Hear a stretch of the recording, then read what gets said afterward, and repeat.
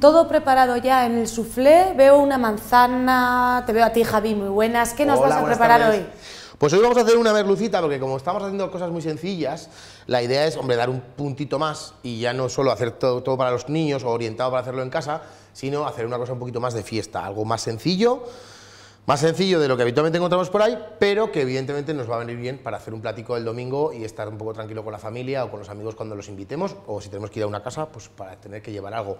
Entonces, lo que vamos a trabajar es con varias texturas de la manzana. Por un lado, tenemos alioli, un alioli de tienda, comprado en cualquier tienda del barrio, un poquito de compota de manzana, si es casera, mejor, si no, también comprada. Manzana Fiji, en este caso, una cebollita, una cebollita tierna, dos ventresquitas de merluza y luego una, manzana que os voy a enseñar cómo hacer para brillar, ¿vale? Entonces, lo primero de todo que vamos a hacer es, en la placa de horno, que se nos vaya haciendo la merluza, vamos a poner una gotita de aceite en el fondo y lo que vamos a hacer las dos ventrescas. Las dos ventrescas, hay quien prefiere la piel para arriba, para abajo, a mí me gusta especialmente para abajo. Le vamos a poner un poquito de sal, ah, un poquito, y luego le vamos a poner una gotita de aceite por encima. Entonces, esto 180 grados, al horno, para esto en 8 minutos está hecho. Es verdad que hay muchos hornos en casa que van por numeración, no van por temperatura, del 0 al 10. Entonces, vamos a dividir los grados. Los hornos están hasta 220 grados preparados para trabajar. Entonces, si tenemos un guion que es de 0 a 10 la temperatura del horno, dividimos 220 para 10, que nos sale a 22, si no me equivoco, con lo cual cada punto del horno son 22 grados y así podemos ir regulando para aplicarlo a las recetas que vienen con grados, ¿vale? Eso era para que lo supiéramos. Por otro lado, tenemos una manzana aquí, me llama la atención muchas veces que vas a sitios y te encuentras con que las manzanas brillan, que, que- que, vamos, que parece eso de un anuncio. Vale, ¿cómo brillan? Con un poquito de aceite, con un poquito de papel, mojamos el papel y lo que hacemos es meter la manzana y le damos un par de vueltas. Y así le sacamos Y así lo que hacemos es que la manzana, fijaos cómo brilla, ¿eh? Fijaros, aquí hemos dado, aquí no le hemos dado, ¿eh?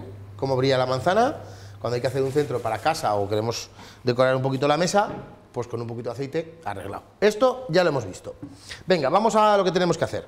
Tenemos el alioli, lo que hemos dicho, alioli y compota de manzana. Vamos a hacer una alioli de manzana. Entonces, lo que vamos a aplicarle al alioli es una compota de manzana tan sencillo y tan simple como eso. El punto, lo que hemos hablado muchas veces, cada uno tiene que saber cuál es el punto que está buscando. Entonces, lo que en este caso yo hago más o menos 50-50 y así pues le cojo un puntito agradable a ajo y a manzana. La compota de manzana, Javi, ¿qué Sí. es exactamente? Manzana, azúcar, cocido y arreglado. O sea, luego lo pasan, hacen un puré y con eso se puede hacer. Para hacerlas en casa, por ejemplo, es recomendable pues, ponerle un poco de canela, o unos granos de pimienta, unas cortezas de limón. Y podemos hacer muchas variaciones. El tema de este alioli es que se quede suavecito con ese punto dulce de manzana, ¿vale? Pero que no olvidemos el ajo que está presente y muy presente, pero que bueno, que sorprendamos también un poco, porque nadie se va a encontrar en hacer algo así tan dulce y tan rico, pero que a la vez nos recuerde al ajo. Este alioli ya está. Fijaros qué sencillo. Con pera, con manzana, con lo que os apetezca, lo podéis hacer de todas maneras. Para un arroz, para un pescado al horno, para una carne a la plancha, cualquier cosita, esto se apaña fenomenal. Por otro lado, manzana. Tenemos que alguno me ha dicho por internet, ¡eh! Que tú no mueves los cuchillos. Pues mira, hoy lo vais a ver. Porque como tenemos tan poco tiempo, casi todos los, los elementos los sacamos ya cortados. Pero en este caso, pues vamos a cortar un poco rápido. Epa, quieto. Ahí. Para una ración esto es suficiente, no nos hace falta más manzana, ¿vale? Entonces, lo que vamos a hacer es apartar esa manzana y lo que vamos a hacer es, este trozo fuera, picar la cebolleta. La cebolleta la quiero más pequeña porque es más, más desagradable de comer, entonces he cortado la, la manzanica así y la cebollica, claro, poquito más picadica. Ahí está. Con eso, suficiente. Para una ración, tenemos más que suficiente.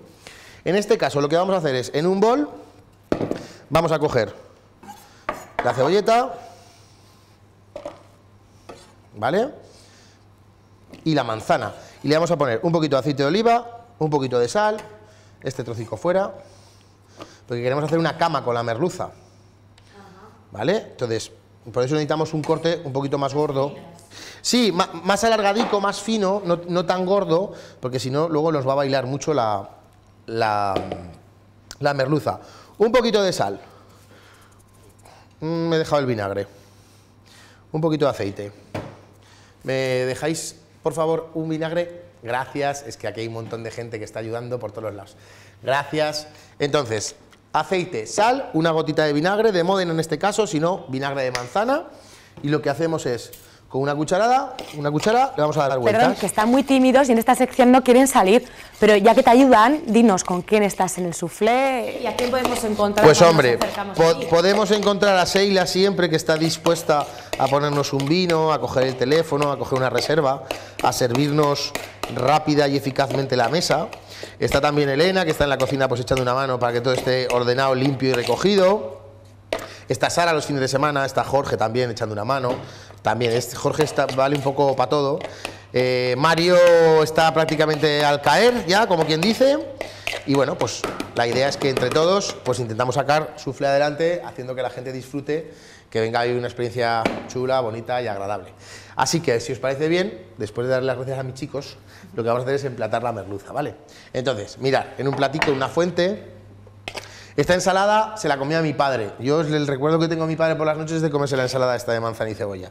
Porque de hecho, ya veis que esto está rico de sabor, sano, suave, y que es que esto es divino. Entonces, tenemos la base ya, lo que tenemos aquí en el horno, la merlucita ya ha pasado el tiempo, ya la tenemos hecha. A ver, por aquí. Vale. Entonces, vamos a utilizar dos cucharitas para montar, que no la rompamos mucho. De hecho, vamos a evitar romperla del todo. Tenemos las dos merlucitas, las dos ventrescas aquí. Que la queremos más estirada, más estirada. Que la queremos más de otra manera. No pasa nada. La hemos secado. La hemos hecho en el horno y entonces se ha quedado un pelín seca. A mí, ¿por qué me gusta asarlo? Porque lo que hago es reconocer el sabor mucho mejor. No está frita, no está pasada por aceite, sino que sabe a merluza, merluza. Entonces, en este caso, lo que vamos a hacer es terminarlo con una gotita de aceite y un lagrimón del alioli de manzana que hemos hecho aquí. ¿Que lo, que, que lo queréis poner encima? Lo ponéis encima. Yo prefiero que los pescados vayan limpios y de esa manera, Cada uno elige Claro, si quiere esto es la idea. o no, ¿no? mirad, hemos hecho la gotita. Lo que vamos a hacer es una gotita más de aceite por encima. Vamos a poner una gotita así. Y vamos a poner unas hierbas por aquello. Del colorido. De que y el aroma bonito. también. Fijaros qué cosita hemos hecho en 4 o 5 minutos. Ensaladita de manzana con cebolla fresca, merluza asada y alioli de manzana. Bueno, pues en la cama se queda ella. Esto hay que comerlo ya. Gracias, Javi. Gracias, Agur, que tengáis buena semana. Chao.